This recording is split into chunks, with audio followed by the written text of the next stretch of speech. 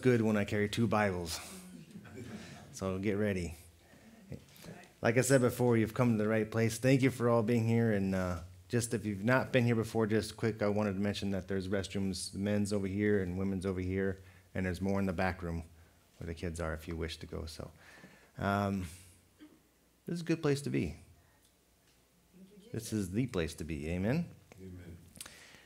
If you don't know, uh, the last couple weeks I've been sharing on preparing your heart and humbling your heart. And how many of people here want to be used by God? Everybody says yes. It's okay. We all know that. However, not very many people get used by God in the capacity that they want to be used by God. And the first part is the first if you want to be used by God, the first thing I've learned is you have to make yourself usable. Instead of asking God to use me, and God want to do this, then God's telling me, I will, but you got to make yourself usable. Mm-hmm. And the best way to make yourself usable is by preparing your heart. The Bible says, prepare your heart before the Lord. I spent the last couple weeks sharing on that, and we'll go through that today. Preparing your heart is not more than just saying, God, I love you. It's a preparation. The Bible, David said in Psalms 57, I, my heart is fixed, O God. I don't have that. My heart is fixed. My heart is fixed. That same word fixed is word prepared in Hebrew. It's the same word as fixed. It's also the same word that the use called established. My word has been established towards you. You got to make a decision to fix your heart towards Jesus. And by doing that, God will prepare your heart. In other words, God will, the Holy Spirit will move in you, and your desires will become His desires. And when that happens, then guess what? You can be usable. So when God asks you to go do something, you can go do it. Yes. Everybody wants that, but we so often get sidetracked. I'm not going to go there. You'll have to look it back, but over in uh, First Chronicles or Second Chronicles, I think. I can't remember which was First Chronicles or Second Chronicles. Rehoboam it says Rehoboam did evil in the Lord's sight because he did not prepare his heart before the Lord. He started out good. He was a holy man, he was a God man of God, and he did the right thing, but he fell off and he went against God. And how many Christians start out good, we love the Lord, but eventually something happens and you don't see him, and they go do something different. The reason why that happens is because they didn't take time and take the effort to fix their attention and their imagination and their heart to the Lord and allow the Word of God to grow a root system in their life. And if you don't have a root system, the first opportunity that comes against you, you're not going to have the system to stand against the world. The world is trying to crush you and anything to get your attention away from Jesus. The single most important thing to the enemy is to take your attention away from Jesus. If he can get your attention away, that's what because that's going to do what? That's going to unprepare your heart and harden your heart towards God. All he's got to do is get your attention away because he knows you, you have the authority. And he knows if he figured that out, he's in a bad spot. Amen. All he can do and all his weapon is has to try to deceive you to get you to start thinking away from this. Why do you think they have all these weird holidays coming up soon? It has nothing to do with this. The whole point is to get your attention away from this. Yeah. The whole thing is all about a, uh, a diversion because he has no authority. In Psalms chapter 10, I'll start here. This is one verse I used yesterday or uh, last week. Psalms chapter 10 says, Lord, thou hast heard the desires of the humble and that will prepare their heart and will cause thine eye to ear. A humble heart is a heart that wants to be prepared. Now, a lot of times we hear the word humble and you think, Americans just think if you say you're humble, you don't you think you're less than or not achieving enough, or it just means you're weak or you're poor or things like that. We take that into context. That is the exact opposite of what the Bible means by humble. Humility just means teachable. That's literally what it means. It means teachable. Someone who is willing to open their heart up and allow God to teach them. As a matter of fact, they use the word humble in the Bible called meek. They translate that word meekness. Jesus said, The meek will inherit the earth. Does everybody remember that part? On the Sermon on the Mount, he said, The meek will inherit the earth. He didn't mean the weak will inherit the earth or the feeble or the poor or all this stuff. He meant the meek, meaning of the person who is willing to fix their heart towards God and willing for God to show them and teach them. Those are the people that God's going to use, and those are the people that are going to rule the earth. Does that make sense? A person who is meek. In Numbers chapter 12, it says Moses was the meekest plan- man on the planet. I think that's Numbers chapter 12, 14. Don't quote me, but it's close somewhere in there. Moses was the meekest man on the planet which means Moses was the most humble man, the most teachable person alive. Didn't, Moses wasn't weak. You just said right now, Moses was 120 years of age and his eyesight wasn't dim. He was as strong as an ox. He wasn't talking about him being weak. Moses wasn't poor either. He was strong, he was meek. You've probably heard this before, but you know who wrote the book of Numbers? Moses. So Moses wrote himself as the meekest man on the earth. He's the one that wrote that. Now, some of you might think, well, that's kind of arrogant. But if you read through the scriptures, God didn't correct him. He says, he didn't say, I am. He wrote in third person. He says, Moses was the meekest. Moses is the guy that wrote that, just so you know.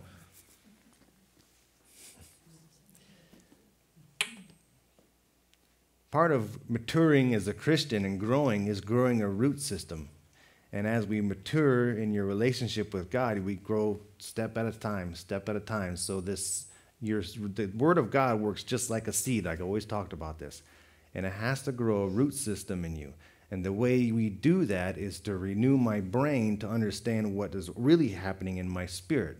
Because I have a brand new spirit that God's given me everything but my brain has to be transformed and renewed so I understand that. And the way we I do that is by fixing my heart, my imagination, or making a decision that I'm going to stick with what the Bible says, regardless of what this person says. If so and so and so and so and so and so say all this stuff and you can't find it in here and it doesn't line up, then they are wrong. I'm really I'm not trying to squash anybody's bugs here, but the Word of God, it has to be first and foremost infallible authority in our life, period. It has to be true 100% from page one to page end. There is no part of this Bible we don't do and part of this Bible we don't do. It's either true or it's not, and it's all true all the way from the beginning to the end. You know, if uh, I just see so many people that get they start up nice and then they go away.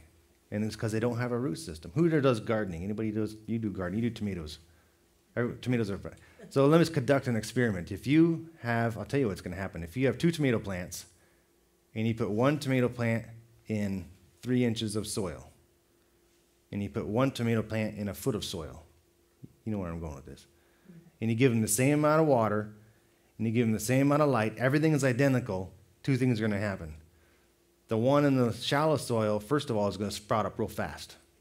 It's going to come real fast. It'll go up real fast, and it'll grow leaves real fast. The one in the deep soil, well, well, you won't even see it. If you wait three weeks, you won't even see the seed. There's nothing there. And this one will be this tall. Try it. I'll, I'll dare you to try this. This is what will happen. And this one will grow real tall. And then this one will start to grow. It'll be about that high. And about a couple weeks after that, this one on the right with the shallow soil will leaf out and then it'll start to bend over. And all of a sudden, three weeks later, the one in the deep soil will triple all in one shot, all the way up, and it'll start to produce fruit. And this one on the right won't produce fruit, the one on with shallow soil. You want to know why? Because the root system is not deep enough to support the nutrients to make the plant produce the fruit. It's, it has to go, the roots have to go out shallow to get the plant to grow up. So it grows up real fast. You do that the same in our life. A Christian does that when we get excited. We, we get up real excited, we get a burst of faith and a burst of energy, And we go, yeah, and you grow up, but we don't have a root system. So when something comes along and says, you're wrong, or you hear the media, we fall apart like a $2 suitcase. If you wait and slow down and get a revelation of what God's telling you, you may not see something happen at first, but that root system will start to grow, and then it starts to come up. And then when you get a revelation, nobody can convince you otherwise of the truth. Once you know the truth and have a revelation of that in that root system, then you can face adversity and face difficult situations. Every, nobody is immune to difficult situations in your life. Every person here has a different situation going on, probably right now. Nobody's got a perfect life, myself included. But we got to deal with it, and we face the world by dealing with, with Jesus. Does everybody follow me so far? So, being a humble and, and creating a humble heart and sharing that and learning that is just a vital part that I've learned that's helped me grow in my relationship with God. For a long time, I've always wanted God to use me, and God has wanted to use me, but I forgot or wasn't told or wasn't taught that God moves through people and He has to have a usable vessel to use. You don't have to be qualified. God hasn't had anybody qualified working for him yet. That's not the point. All you got to do is be usable. Moses wasn't qualified. Moses was petrified. He didn't want to get used. He was terrified. He was so terrified that he told, and God told Moses, okay, I'll go with you to Israel. And Moses was like, whoa, whoa, wait a minute. What do you mean? You, you were, there was a question like, because you weren't going to come with us? he got caught off guard. He's like, if you don't go in front of me, I'm not going anywhere. That's as simple as that. It's either you go or I don't go. So that's, that's a, what a humble heart is. So I want to share a scripture with you today out of the first book of Chronicles. This is uh, David. And David is coming to the end of his life, and this is a really neat passage of scripture that means a lot to me, and this will help in the second or the first book of Chronicles in chapter 29. This is David coming to the end of his life and he's getting older on age and he's getting things in a fair and he has all the people of Israel gathered together. And he does a little thing. And what he says here in verse 18 is really, really powerful. It says, O Lord God of Abraham, Isaac, and Israel, our fathers, keep this forever in the imagination of the thoughts of the hearts of thy people, and, look at this, prepare their heart unto thee. Everybody see that word, prepare their heart? That's what we've been talking about three weeks.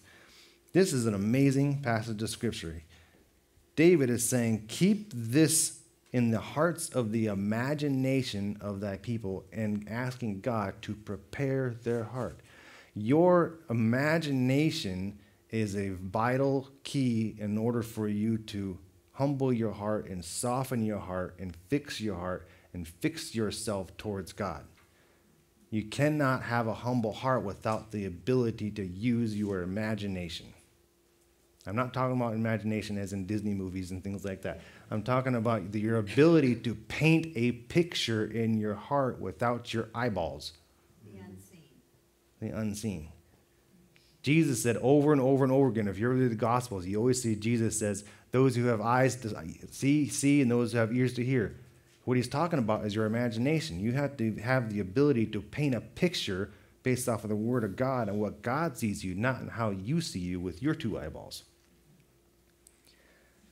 what this is really neat because if you look back here, this is um, David was at, like I said, he was coming to the end of his age and he was getting ready to get his affairs in order. So he gathered all the people together and he made an offering to the building of the temple. Now, David wanted to build the temple of the Lord, but the Lord says no. He said, No, I don't want you to build the temple of the Lord. You was a man of war, and I don't want a man of war building the temple of God. This is an Old Testament thing.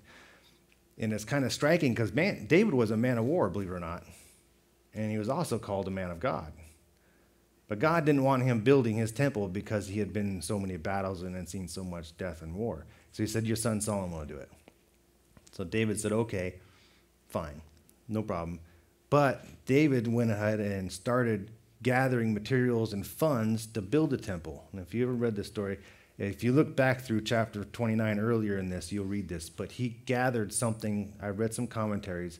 The government of Israel and David gathered an offering and started building a warehouse for funds to build a temple. And it was something like, in today's money, I think it was 40 or 40 billion dollars worth of materials and funds. That's a lot of money and gold, tons of gold, like actual tons of gold. So he, he had already given $40 billion worth of funds to build the temple for the Solomon. And then he, gathered, he gathers the whole country together, all of his officials and all of his other stuff, and then he himself started giving from his own personal accounts. And he gave to the temple another equivalent of $4 billion. 4 billion, not million, billion. Tons and tons of gold. You can read it. it. It shows you how many thousands of pounds of this and how many thousands of pounds of this. And if you equivalent that to today's money, that's like $4 billion that David gave out of his personal bank account to the building of the temple. That's pretty good. Now you got $44 billion. And his officers and his leaders and his priests and all these generals and his leaders were so impressed by David that they started giving out of their personal accounts. And then everybody else saw what all the captains and generals and leaders were doing, and they started giving out of their accounts. And they gave another $4 billion in the same day. This all happened in one day. So in one day, they got about an $8 billion tithe offering to the building of the temple. That's a pretty good day. So everybody break out your checkbooks. And, and David was so moved by this, and he was so floored that he just began to pray and pray and praise God. I want to read you a couple of sentences that he get to before he gets to verse 18. And in verse 14, if you back up three more verses here, David begins to pray because he's so overwhelmed of this. And he says, Who am I and what is this people that we should be able to offer such willingness of sort? For all these things have come of thee, and thy own were given of thee. This is the King James Version. But basically, he's saying, Who, who are we to be able to even have the ability to give you this stuff? You got to remember, they were slaves in Egypt. They didn't have nothing, they had less than nothing. And David is remembering this, and he says, Everything, we were strangers before that. He's talking about being in Egypt. And there were our fathers, and the days of the earth were like a shadow, and there is nothing, none abiding. This is just amazing. He's saying, Who are we that we are now at a place in our life that we can give this? We had nothing, and now we have all this abundance. All this abundance came from you, God. In other words, everything in your life comes from God. God gives you the power and the ability to be prosperous. He doesn't give you prosperity. Matter of fact, in Proverbs it says God gives you the power to be prosperous. If you're good at doing something and you're, and you're blessed by it, the reason why you're good at doing it is because God has allowed you to be good at doing it. Does everybody follow me so far? I'll read a little more. Verse, what am I at here? 16. O Lord our God, all this store that we have had prepared in the building in these houses for thine only name and thy coming of the hand it of thy own. I know also, God, that thou hast triest their hearts and hast pleasure in the uprightness. And as for me and the being the uprightness of my heart, I will willingly offer all these things. And now I have seen the joy of the people who are present there who are offering willing to these. He's just saying this is just absolutely amazing. Everything here that has been able to do this came from you, God. You're the reason why we have all this opportunity to bless you. You're the one that built this. And now everybody in the round is seeing that and they're, they're humbling themselves for you. So he's saying this. And then he gets to verse 18. He says, Lo Lord, God of Abraham, Isaac, keep this event, in other words, keep this into the hearts of the imaginations of the people and the thoughts, and prepare their heart. In other words, he's asking God to help penetrate and fix this event in the imagination of people so they don't forget. Because people forget. we leak. How many of you ever had a revelation in your life or an experience in your life that you don't forget? Everybody, you can raise your hand, that's okay. This is what he's trying to get across to the Lord. He said, Lord, please help these people make this event one of those events and, and permeate it in the imaginations of their heart and help them prepare their heart so that they don't forget who their source is. That Jesus is their source. Our job, my life too, is to do that for me. As you grow, you, God will give you an experience and you'll learn a revelation. And once you get a revelation, that paints a picture in your heart that nobody can erase. That's what a, that's what a biblical revelation is called. Once God gives you a revelation, gonna, He's going to paint a picture in your heart, and nobody can talk you out of that. Once you know, you know, you know, you know. Peter did this, and I'm not going to go there, but Jesus asked Peter, Who do people say I am? And he said, Some people say you're Elijah, some people say you're Moses. And he said, But who do you say I am? Everybody remember that? He's, and Peter said, You're the Messiah, the Son of the living God. And Jesus responded and says, No human teaching taught you that. That came by revelation of the Lord. And on that revelation, I will build my church, and the hells of gate and the, and the hells of Satan will not prevail. Does everybody remember that? That that scripture has been taken way out of context because everybody thinks Jesus was talking to Peter that he was going to build Peter was going to build the church and that was going to be Peter's church and the hells of gates won't prevail against Peter. He wasn't talking about Peter at all. If you read that real carefully, he was talking about Peter's revelation. He says, Upon this revelation, I will build the church. He didn't say, Upon you, Peter. He said, Upon this revelation, I will build the church. I better read that so you guys know that. Matthew, it's in Matthew somewhere, 6, 16, 17. Do I have that? Matthew chapter 16.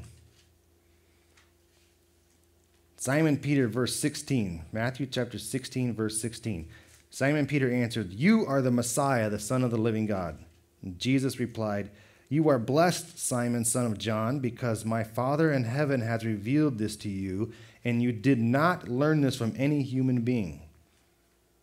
Now I say to you, Peter, which means rock, upon this rock, in other words, upon this rock of revelation, knowledge of this permanation in your imagination, of this humbling your heart and preparing your heart, and God's moved you, this piece of information, this revelation, I will build my church, and all the powers of hell will not conquer it, and I will give you the keys of the kingdom of heaven. Amen. Has nothing to do with Peter or an individual building anything. It all has everything to do with your ability to use your imagination so God can give you a revelation of His truth. And once you know the truth, the, say, the gates of hell cannot prevail because they don't have any authority to prevail. But the only way that works is for you and me to know the truth. And the only way to know the truth is for you and me to prepare your heart. This is what David was trying to convey on this day when he said, Lord, keep this in the thoughts of their imaginations of the people and prepare their hearts. Lord, please don't let this be something that they forget. How many times have God done something miraculous in your life and you forgot about it?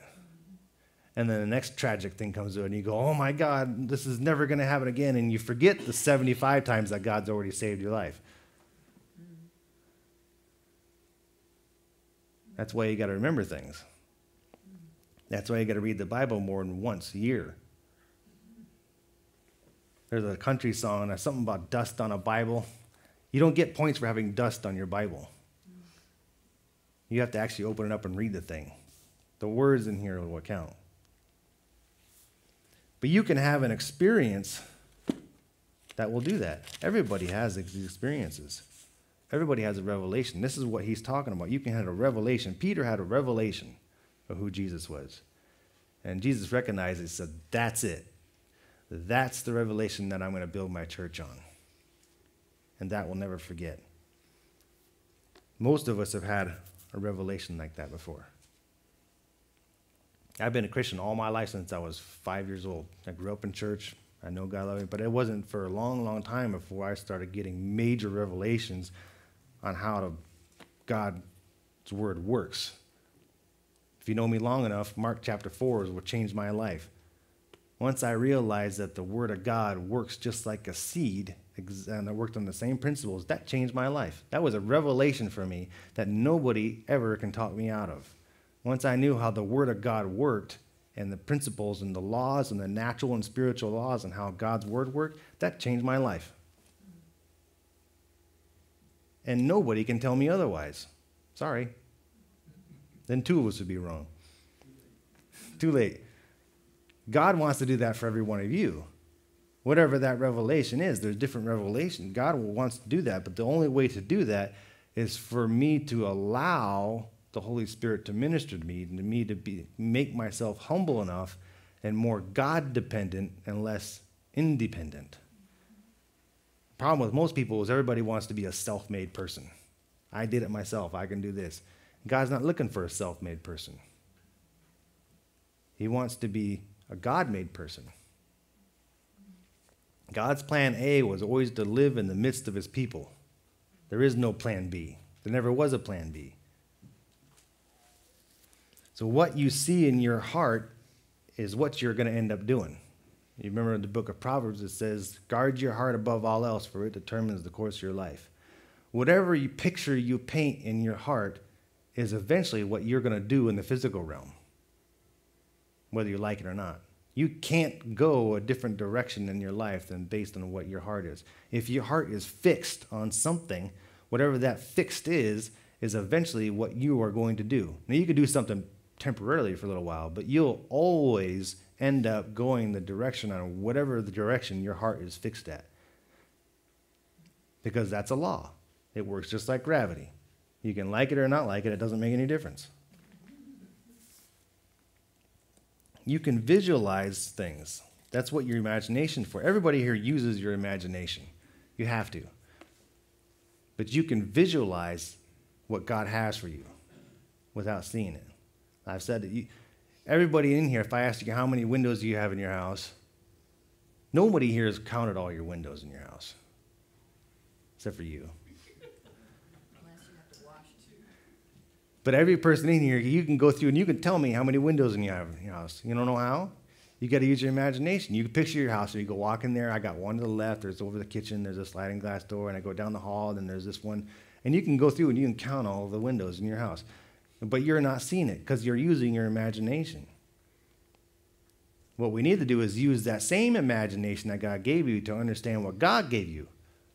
Galatians chapter 5, verse 22, it says the uh, fruit of the Spirit is love, joy, peace, patience, kindness. You know what that is? That's everything that you have already in your spirit. All of them together. It's one fruit, it's not plural. To use that same imagination that you have to count your windows to think, I have joy. What does that look like? I have peace. What does that look like? I have patience. Yes, you really do. Trust me. I know you don't share it very much when you go to Walmart when someone cuts you off you have patience. You can visualize things before you do them, and that's what you do. I was a chef for a long time, and I've probably shared this, but that's okay. When I used to write menus, I used to be I used to write all the menus out for multiple restaurants, and the way I would write menus was a little bit different. I would visualize the finished product that I wanted to see, and then I would write the recipes backwards to fit what I wanted to see in the finished product so that I can give it to the prep crew and I can have the right prep crew in the right increments so that they would make the right sizes and increments that I wanted to see on the plate. And I was writing a menu with another chef that we were working together with restaurant, and he saw what I was doing a little bit, and he asked me, "What are you doing?" And I said, "I just work backwards. I visualize what I want to see, and I see it in my mind, and I write and I work backwards from there. I deconstruct it and then I write the recipes. And he said, That is the weirdest thing on the planet. I have never seen anybody do that. But you know what? I had very, very little reprints. Whenever I made something, it was it was almost 90% correct whenever I made something. Very little reprints. Because you know why? I saw it. I knew what it was supposed to look like when I saw it. And when I saw the people prepping, I said, no, that's too big. I want it smaller. Or this, or this, or this, or whatever. It's too thick. Because I had the finished look imprinted in my brain of what I wanted to do. Does that make sense to everybody? Yes. You can do the same thing in your walk with God. God can give you a vision and God can give you something, a, a revelation of His love or prosperity or healing or just anything, peace or patience or holding. He can give you that. And once you get that picture, paint it in your mind, and you can do that because God is with you doing that. If you can't paint a picture, you can't do it. Let me put it the other way. Abraham and Sarah said the same thing. I'm not going I'm going fast. Am I going too fast? In Hebrews chapter 11 it says Abraham said, "If they had been mindful from the place they had been, they might have been tempted to go back." He's talking about Abraham and Sarah moving out of the Ur of Chaldees. In other words, if they had been thoughtful from when they came from, they could have been tempted. If you read that backwards, it says, if you are not willingly understanding, if you can't imagine where you're from, you can't be tempted. In other words, you can't do anything that you can't imagine. If you can imagine, you can do it. Remember the Tower of Babel in the Genesis chapter 7? The Lord came down to see a report, and he says, All these people are in one accord, speaking together and building buildings. And he said one very important thing. He says, After this, whatever they can imagine, they can accomplish. And so he split them up to slow that process down. Whatever you can imagine, you can accomplish because that's the way God designed you and designed the world. That's a law. Whatever you focus on is what imprints this picture, and whatever that picture is, is what steers your subconscious and conscious and what makes your actions and your sub-actions, what makes you talk, what makes you speak, and how and then that has the effect. If you want to change something in life, you have to change the picture in here. Not out here. And the only way to change the picture in here is by preparing your heart. You have to make a decision to fix your heart and be acceptable for God to do something for you.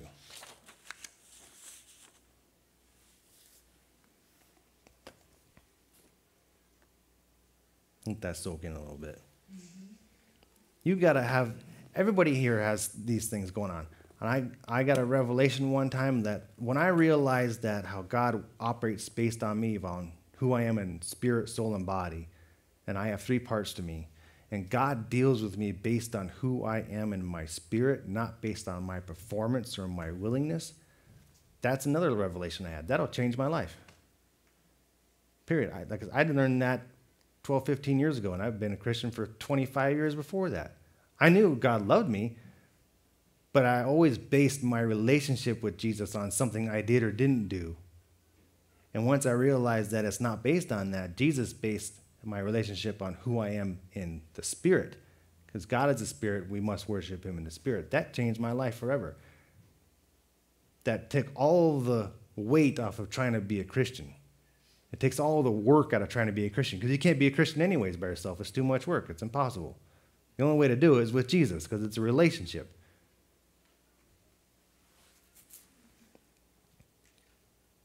It's okay to use your imagination. You got to paint a picture that's permanent so you remember things. I remember, I'll tell you one quick story, then we'll do this.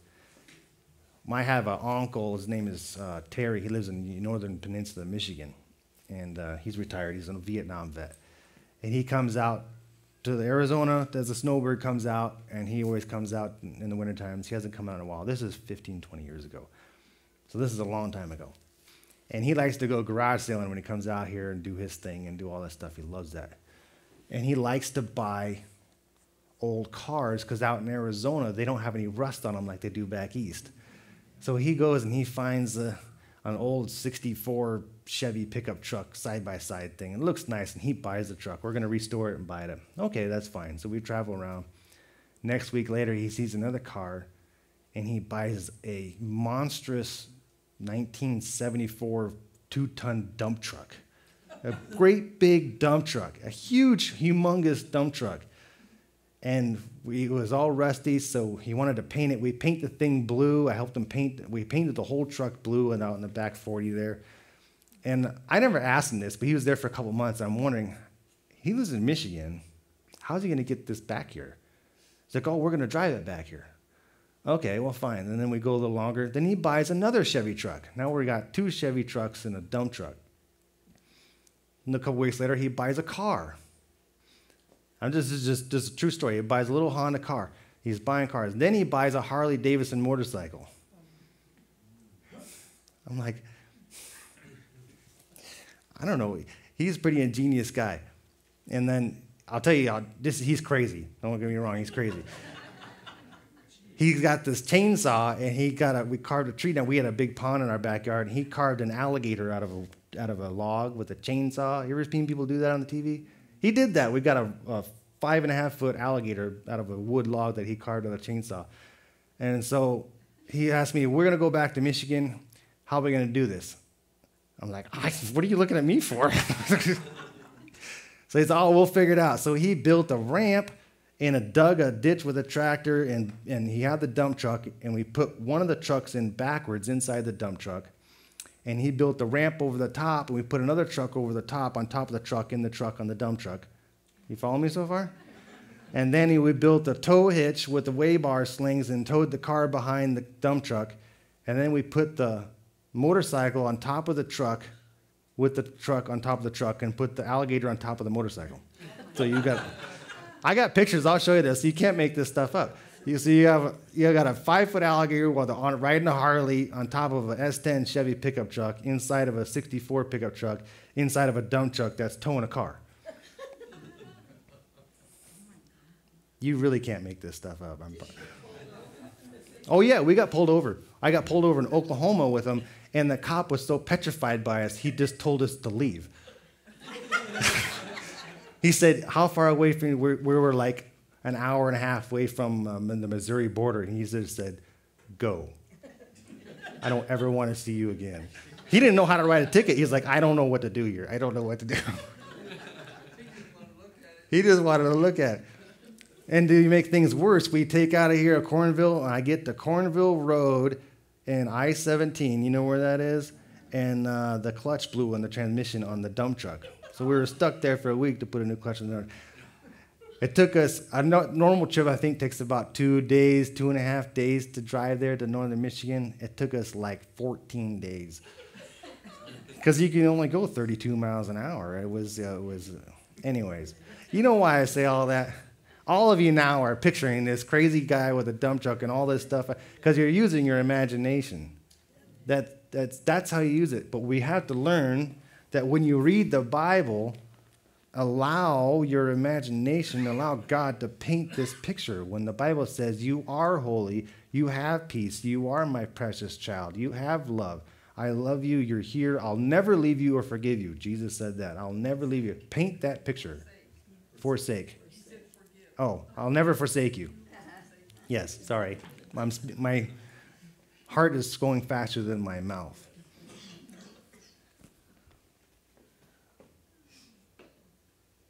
God designed you in his image, and part of that being is your ability to use your heart and your imagination. God wants to do that.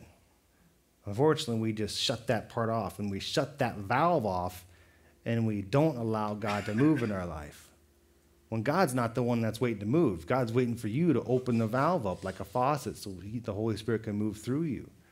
And the best way to do that is to prepare your heart. And another word for that is to be humble your heart, or to fix your heart, or to establish your heart, or make a decision to use your imagination to paint a picture on what the Bible says who you are. Hope that makes sense. Amen? That was worth coming to church for, wasn't it? Yeah, it was it. I'm going to do something a little different here. We're going to take communion today. I want to take communion today. And when I, we do this today, I'm going to cut a little short today. I want to read a passage of the Bible. And as we do this, we're going to conduct an experiment, and you're all going to use your imagination to paint a picture.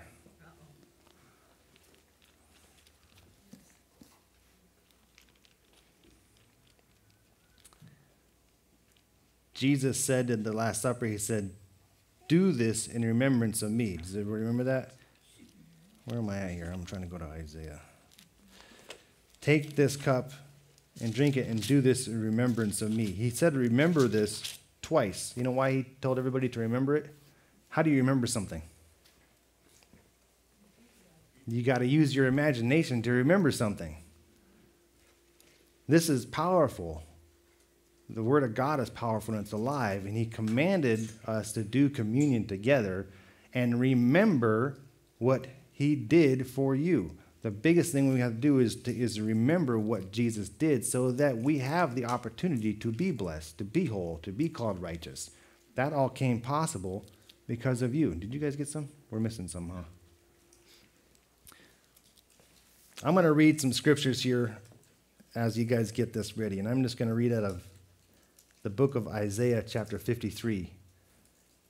Isaiah wrote this, I think I read some commentary, uh, somewhere around 800 years before Jesus was born.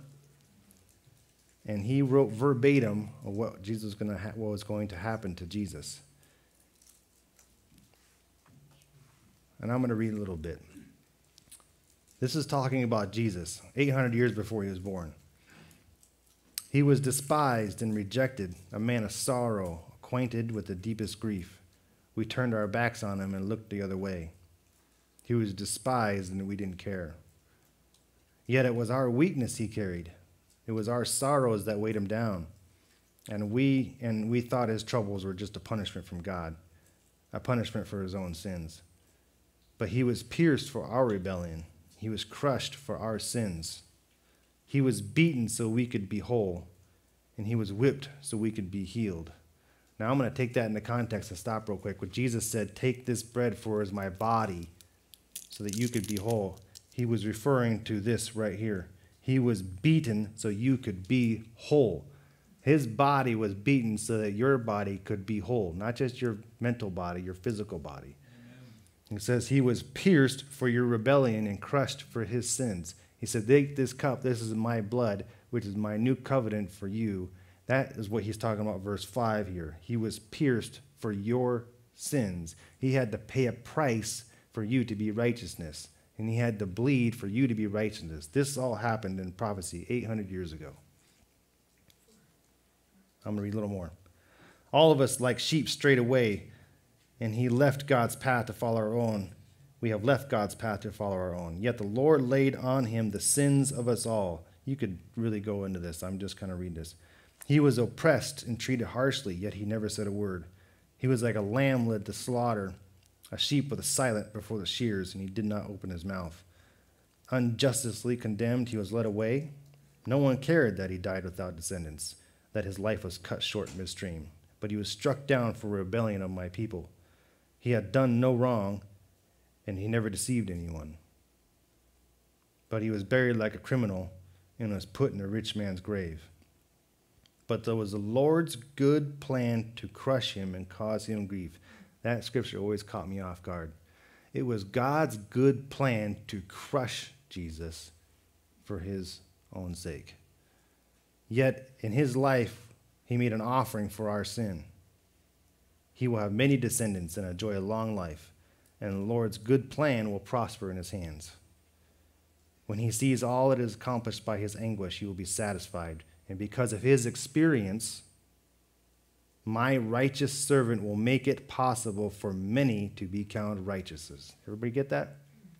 That's verse 11. My righteousness servant, Jesus, will make it possible for many to be counted righteous, for he will bear all of their sins, not some of their sins all of them. All of them. That word all in the Greek means everything. All. Because he exposed himself to death, he was counted among rebels. He bore the sins of many and interceded for the rebels. So when Jesus said, Do this, take this bread in remembrance of me, for this is my body, it is broken for you he literally meant his physical body was going to break for your ability to be whole. Let's eat.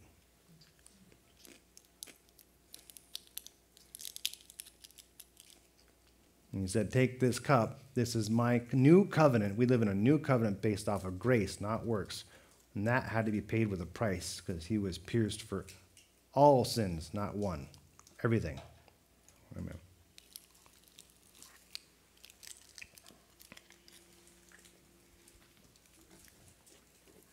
If you get a chance to read Isaiah chapter 53, I'd really encourage it. That was some of the most inspiring pieces of scripture uh, that in the Bible.